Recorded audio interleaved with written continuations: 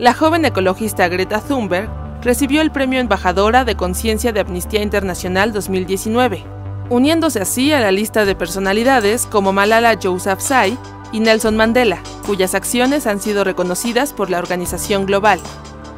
Durante la ceremonia realizada en Washington, Thunberg dedicó este premio a las millones de personas en todo el mundo que forman el movimiento Viernes por el Futuro, grupo ambientalista que también fue reconocido. Viernes por el Futuro es un movimiento estudiantil que inició en agosto de 2018, cuando Greta llamó a una huelga escolar por el cambio climático todos los viernes en Suecia, y se ha extendido a varios países.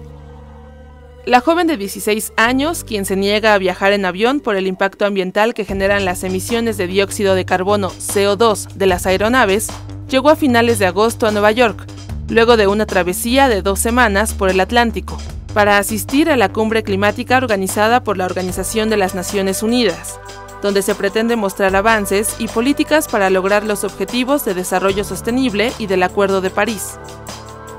El Premio Embajador de Conciencia es la máxima distinción que concede Amnistía Internacional y rinde homenaje a personas que han demostrado valentía y liderazgo en la defensa de los derechos humanos, personas que actúan en conciencia y han empleado su talento para motivar a otras.